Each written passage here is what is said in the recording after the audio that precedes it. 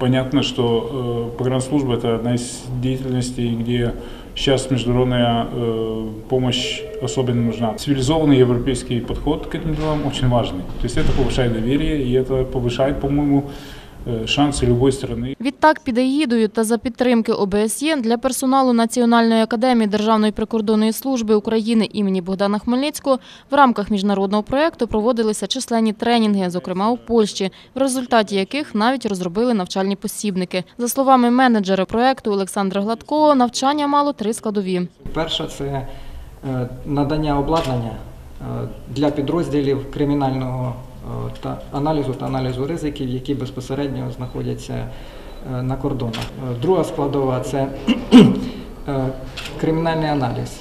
І третя складова це е, аналіз ризиків. Керівник академії впевнений, співпраця з ОБСЄ дозволить удосконалити освітній процес та підвищити кваліфікацію науково-педагогічного складу. Вищою стратегією охорони державних кордонів є відкриття їх для людей з добрими намірами, каже Олег Шинкарук. Если человек пересекает границу, едет в какую-либо страну с добрыми намерениями, он не должен почувствовать пересечение государственной границы. Это должно быть комфортным. И аналогично, если человек едет в какую-либо страну совершенно с противоположными намерениями, то государственная граница для них должна быть неприступной крепостью.